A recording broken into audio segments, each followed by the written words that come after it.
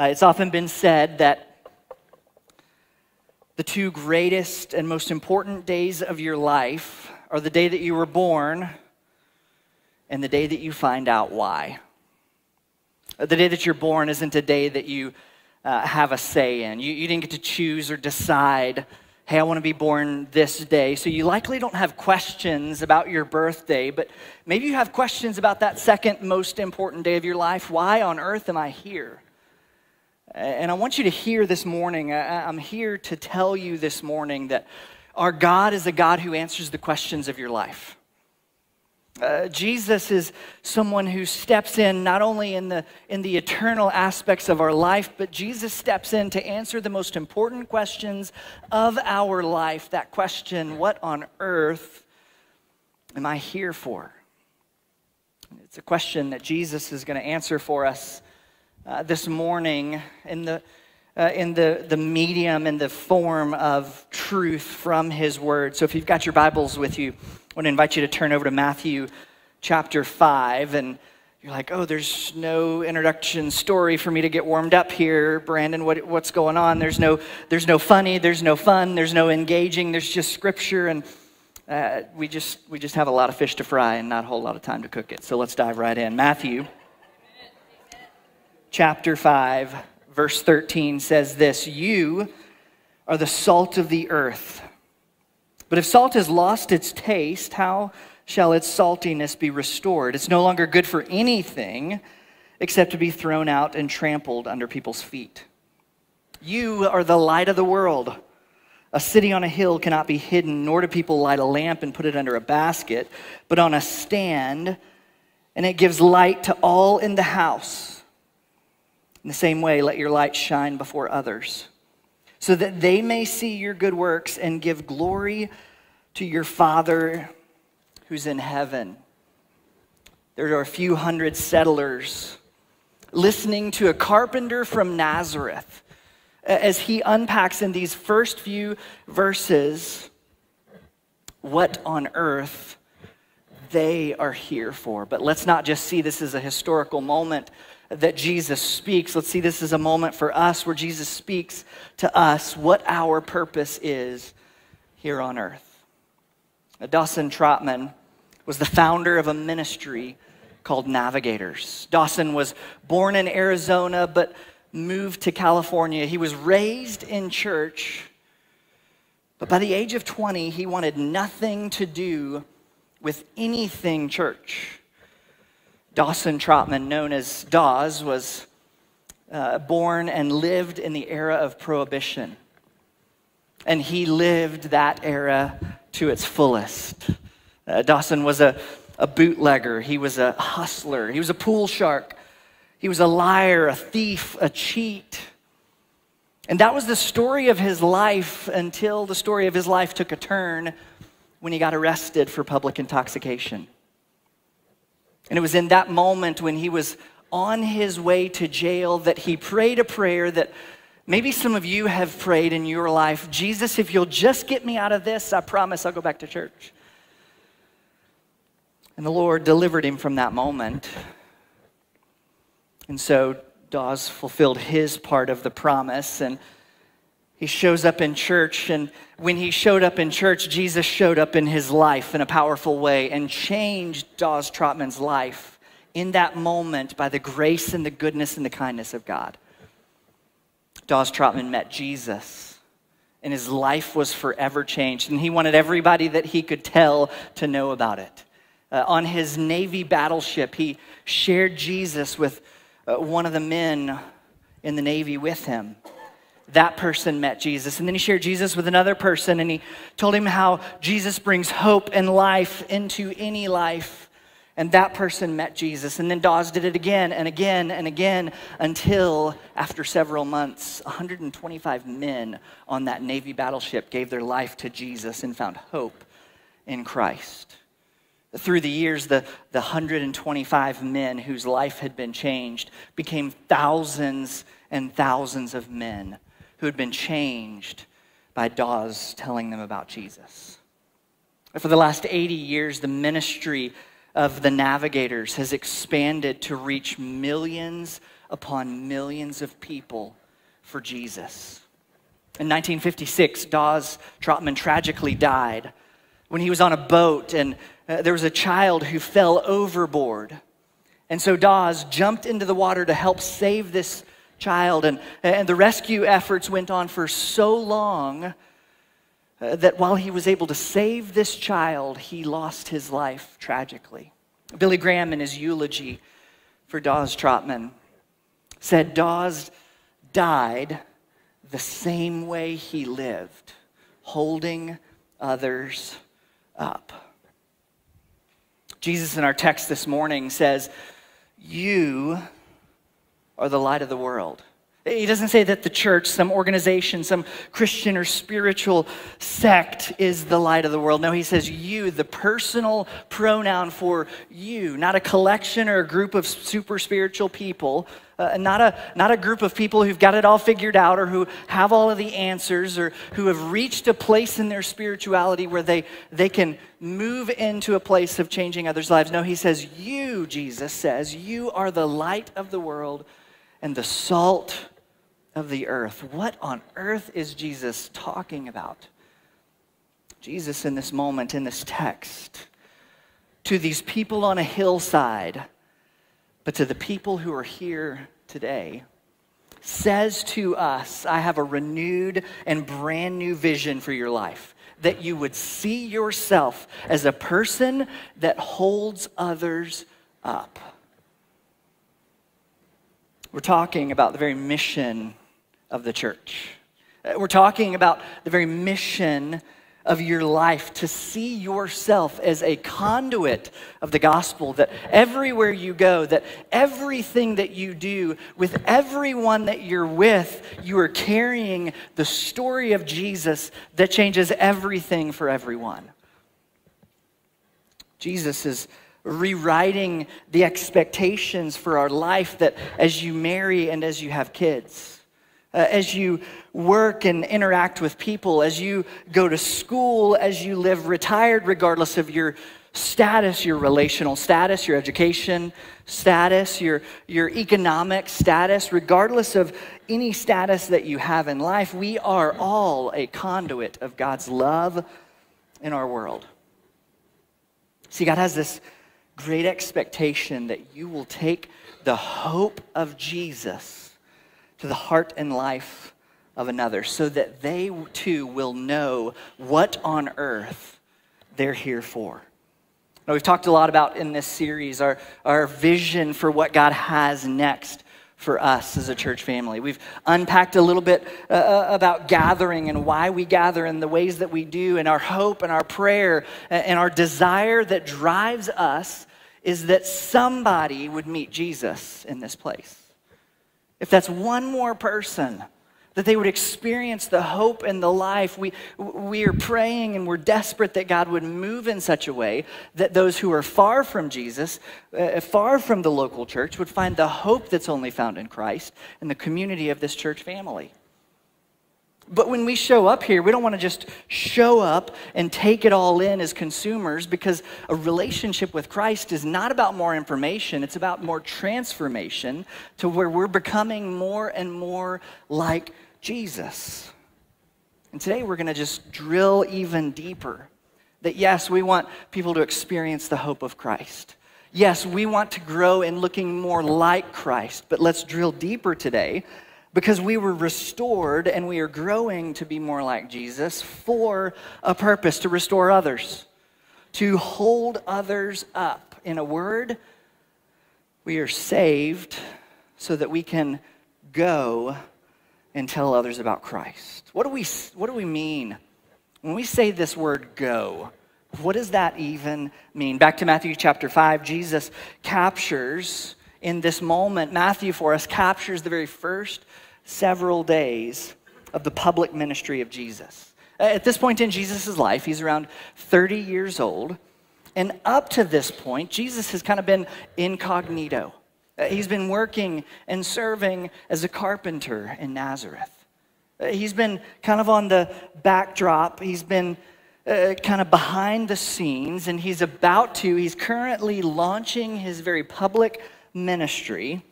And with some of Jesus' very first few words, Jesus uses some of his very first few statements and arguably his most important message to define this new kingdom ethic. Jesus says this, and I don't want us to miss it, uh, because in, in his very first few words, with some of the first people that he's met, Jesus is sending people into gospel ministry. Some of these people he's never even uh, introduced himself to, and he's already saying, I'm sending you on mission. And here's what that means for you and for me Christians are not just saved people, we are sent people also. Oftentimes we think of Christianity as just some eternal life type of thing. Let's get this taken care of so that I don't go where I don't want to go and I do get to go where I do want to go and so that there's this afterlife. But Christianity is so much more than salvation. It's that Jesus is sending us on mission. This is what he says again in verse 13 You are the salt of the earth. But if salt has lost its taste, how shall its saltiness be restored? It's no longer good for anything except to be thrown out and trampled under people's feet. You were the light of the world. A city set on a hill cannot be hidden. Jesus, in this moment, gives us some categories for what this looks like practically in life. He says, You're the salt of the earth. You're supposed to do something, you're supposed to have an impact on things. You're the light of the world. Not just a Motel 6. We'll leave the light on for you. If you happen to drive by, there's going to be a light turned on for you. We are not Motel 6 people. No, you are the light of the world, a city set on a hill. Jesus here is insisting that we cannot and must not be hidden. Uh, now, the, the whole passage is undergirded with this urgency of expectation from Jesus. It's Jesus' way of saying, I have saved you, I love you, but I'm also expecting you to do something with what I've done for you. Are you picking up what I'm putting down? Anybody smell what I'm stepping in? Are you with me? This can be interactive if you so choose. Jesus didn't just bless me to be blessed, Jesus blessed me to be a blessing. Jesus is saying, believer, I, have not just made you a Christian so that you can hang around with other Christians and uh, be safe within the context of culture. No, Jesus didn't, didn't just move in us so that we could stay still. He's saying, I've moved in you so that you can move in others in ways that I've done in you. I didn't just put a fire in you so that you could be hot while others are just cold all around you. No, I've done something in you because I love you, but also one step further, I love all of the people around you. This is the expression of the holistic version and vision of the gospel. According to Scripture, I am not just saved by God, I am also sent by God. And when I am saved, it doesn't just change my relationship to God, it changes my relationship with others. It, it, changes my relationship with my location, the way that I look at life, the way that I see my relationships, the way that I interact in my job. Jesus is saying, You are the light of the world, you are the salt of the earth, which means for us, church family, which means that we don't just live here in South Orange County, we have been sent to Orange County. It means that I don't just go to school at the high school that you're in or, or, or, at Saddleback College or any other university. I don't just attend school there. God has sent me to school there. It doesn't, it, it means that uh, I don't just work in this job so that I can make a living until I figure out what I actually want to do with my life. It means that I have been sent to this job. Can we go further? It means that I don't just live in my neighborhood on the street that I collect mail. It means that Jesus has sent me to that spot on mission. Let's keep going. It, it, it, means that I haven't just been married to this spouse, I have been sent to this spouse by God. Can we do more just for fun? It, it means that I don't just work it in and out. And thank you. God bless you for the work that you do. You are serving our community faithfully. But I don't just work at In-N-Out, I have been sent to In-N-Out. Friends, God is sovereign. He has saved you and changed you. And everywhere He has you, He has sent you to be salt and light for Him. And Jesus says we are to make disciples, which I know can be an overwhelming idea. But don't overthink it. Discipleship is uh, about taking what I know about God and in and then investing in someone who doesn't know as much as I know about God and bringing them up to where we're at. It's life together, life like Jesus. God says, You are a disciple maker, a world changer, a paradigm shifter. But Brandon, I'm, I'm just a businessman. Brandon, I'm just, I'm just a teacher, a caterer, uh, I'm just an investor. I'm a banker. Uh, I'm an educator. I'm just a college student. I don't have any theological degree. Listen to me, church. When it comes to living on mission, when it comes to going, you can do this. Well, how do you know that? Because I've seen it in Scripture. Jesus picked up a ragtag group of uneducated, ineloquent, non rich, disciples as a reminder to us that God can use us too. And so if you're ordinary, if you're missing some things, if you're a few fries short of a happy meal, if your money's funny, if your credit don't get it, God can use you too. Because Jesus picks the guys who didn't get picked. And that's why I know you can do this too. Because we can't be good enough. We can't be smart enough. We can't be nice enough or pretty enough to be loved by God. We are loved by God because that's who He is, not because of what we've done. And so,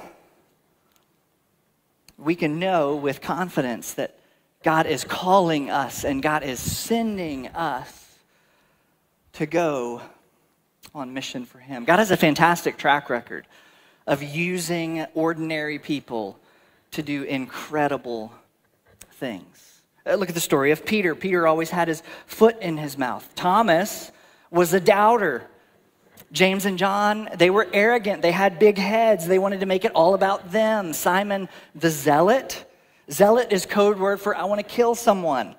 He was a wannabe assassin. God used him. Matthew was a tax collector, which means he was a hustler, he was a thief. Uh, you can't get more polar opposites than these two people. And yet, God used them. David was an adulterer and a murderer. Ruth was a foreigner, a Moabite, an immigrant. Rahab was a prostitute. Moses was a murderer, a fugitive. Jonah was a runner. He was disobedient to God's call on his life. And if God never changes, and he doesn't, it means he's still picking the people that others don't pick. They weren't professional, they weren't eloquent, they weren't impressive. Can I go further? Some of them weren't even faithful. We think when, when we make a mistake, when we mess up, that, uh, that somehow our unfaithfulness is going to change God's faithfulness. Friends, it doesn't. Go back to the Garden of Gethsemane when they all abandoned him. Look at the story of Judas Iscariot, how, yes, Jesus still used him and called him in ministry, and he betrayed Jesus. If Jesus can use these guys, I am a witness that he can use us today. The Spirit of God that's on the inside of us is inside of you. And if God is for you, who can ever be against you? Think about how God sees you versus how you see you. God's call on your life, friends, is not a pocket call. It's not like, oh, I didn't mean to call you. Sorry, it was just pocket dial. No, this is not a mistake. God has called you. Think about what God says about you. In Second Corinthians chapter 5, God calls us ambassadors for Christ. He calls us to, to be ministers of reconciliation citizens, ambassadors, or citizens of, an entirely different domain than where they're at. They're representatives of their leader. Of course, they understand the cultural context. They may even learn the language of where they're living. Uh, they know the culture of where they're at so that they can represent their king to the fullest. 1 Peter chapter 2, Peter says that we are a royal priesthood, that we are a royalty, and that we are a priesthood. Being a priest means we are a mediator between God and others.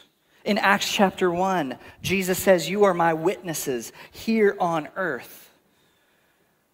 But even hearing all of that, even unpacking all of that, I know that there may still be a disconnect. Because you look at your life and you're trying to reconcile what's gone on in your life or what's going on in your life. You look at what's happened to you. You say, Well, how could God ever call me or use me to make a difference in someone's life. I know there's a disconnect, but family, it is time for you to see you how God sees you so that you can do what God has called you to do. So, what does this look like? Jesus lays it out here. Looks like us being the salt of the earth. Now, as these people were gathered on the hillside listening to Jesus, as Jesus says to them, You are the salt of the earth, uh, they would have had a very clear picture in their minds of what salt meant. Uh, the purpose of salt in that day was used as a preservation. It was a preservative. There were no such thing as deep freezers back in that day that you can fill with buckets and buckets of ice cream. Uh, in that day, salt was used as literally a preservative. The only way that you could keep meat from being totally worthless and thrown out was to literally cover it and saturate it with salt. Jesus in this story is telling us that, y'all, the world is a broken place. And unless I send some salt in the world, it will become worthless. And so we're to be a preservative against the onslaught of evil that's all around us. On the other hand, salt was used as a, as a flavor. Uh, salt was used to flavor things in, in this first century world, uh, just as it is today in our world. Can I get a tomahawk wi- ribeye witness? Think about that 16 ounce filet that's been marinated for 48 hours and grilled to a perfect medium rare because that's Jesus' favorite temperature, medium rare. And then you sprinkle a little bit of that pink Himalayan salt on it to get the perfect flavor. Jesus says that's the relationships that believers show up in. This is the way that we are the salt of the earth because we, as followers of Jesus, we know what purpose is.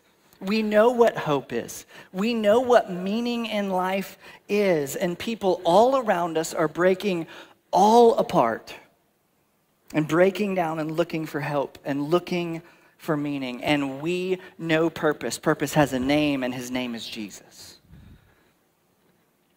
So Jesus says, You're the salt of the earth, you are the light of the world. When you think of light, think context. Light brings context to darkness where there is nothing but darkness. When it's dark, you don't know what's around you. When it's dark, you don't know who's in the room with you. When it's dark, you don't know what's going on around you. And so light helps to navigate the context that's only darkness. And so Jesus is saying that your posture, your approach to relationships and the lives around you ought to be such that people should say, Hey, how is it that you're able to encourage me all the time? How is it that you're able to serve me when you yourself need to be served? How is it that you're able to help me out when, when actually you need to be helped? How is it that you're able to ask how I'm doing when I know you're struggling in life? And in that moment, we get to go and tell them about our Savior Jesus. Jesus has a warning for us. Look again at verse 13. You are the salt of the earth, but if the salt has lost its taste, how shall its saltiness be restored? It's no longer good for anything except to be thrown out and trampled under people's feet. Jesus' is warning for us in this, in this moment is how tragic would it be if the change that Jesus has started how, how tragic would it be if the salt that's flavored us that Jesus has given us, if we miss out on that opportunity?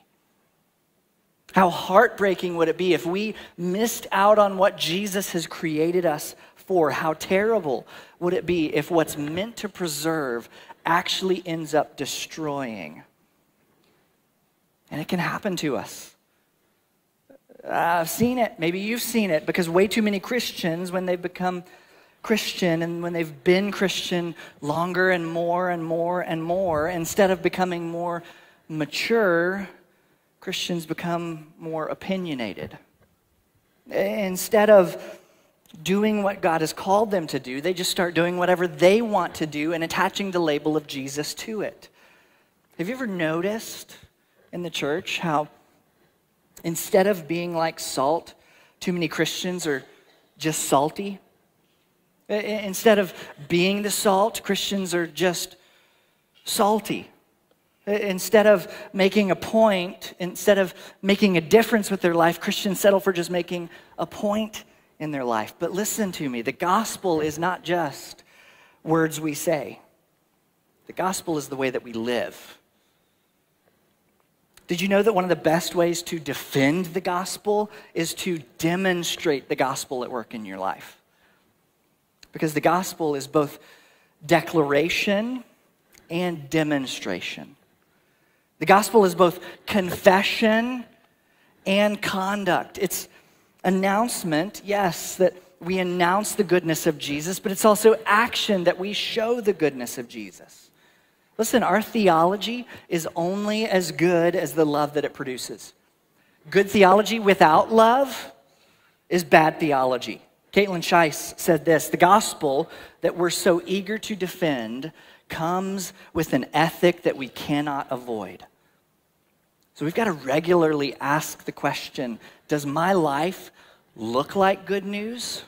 Uh, remember last week we unpacked what it looks like to live as a follower of Christ, to grow as a Christian. And so let's take it one step further that, that public fruit in our life comes from very, very deep spiritual formation in our life. That we become, by the grace and the goodness of Jesus, more like Jesus, not in ways that, uh, that, that come in the depth of our knowledge, but in the in the, the depth and the breadth of how we love. The saltiest and the most dead body of water on earth is the Dead Sea. Several years ago, we floated in it, and you're going to float in it because literally the water has so much salt content that you can go and swim in it and, and not even sink. Like, you don't have to worry at all about drowning.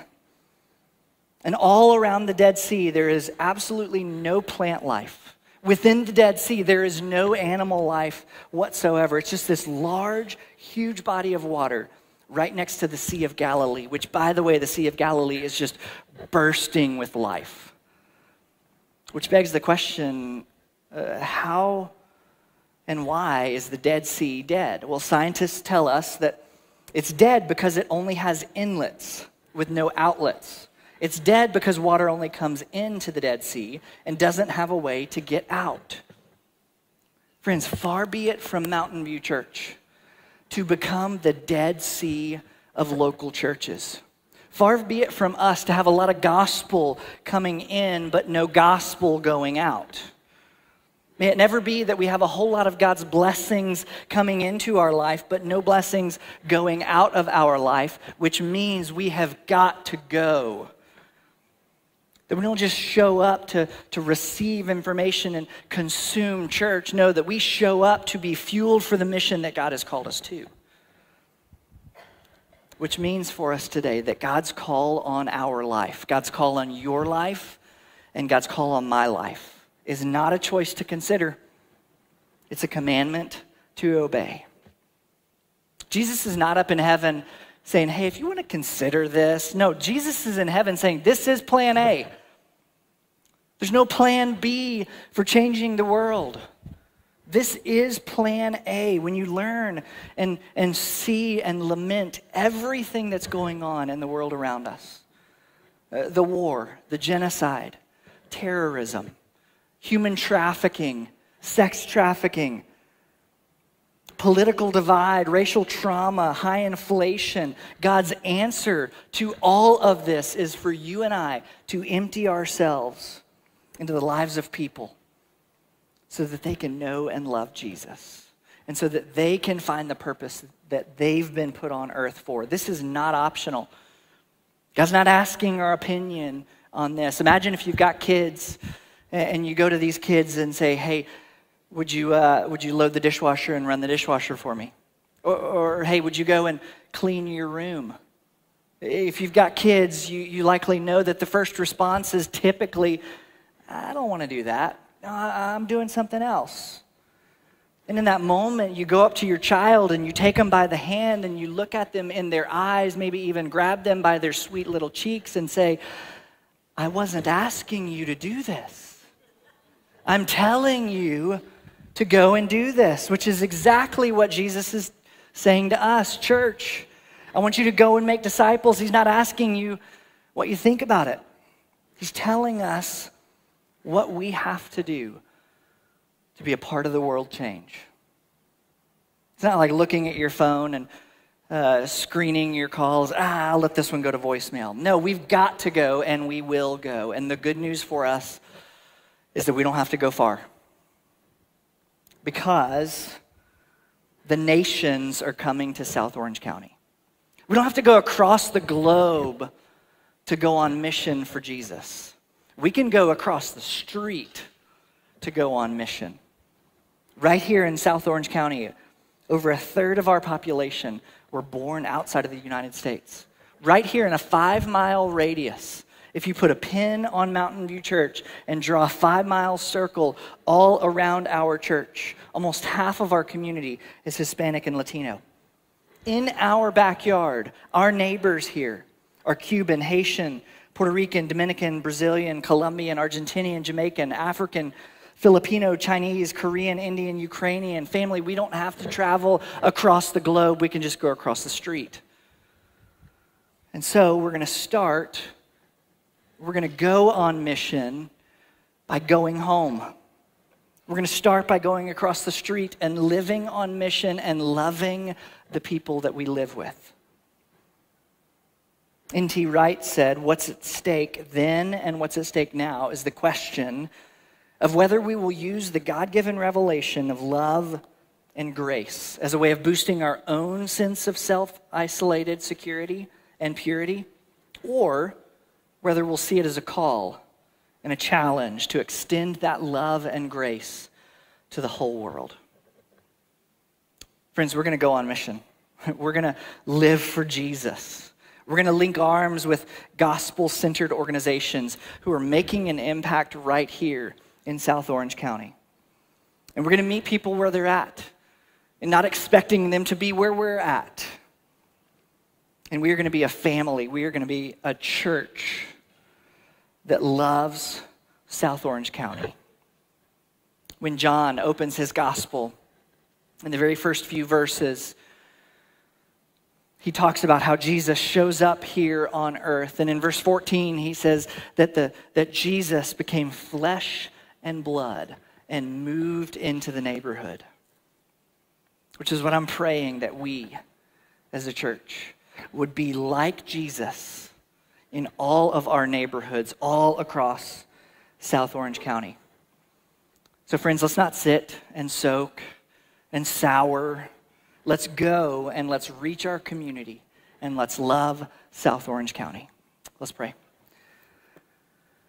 Uh, Father, we're grateful that you would think to include us in what you're doing.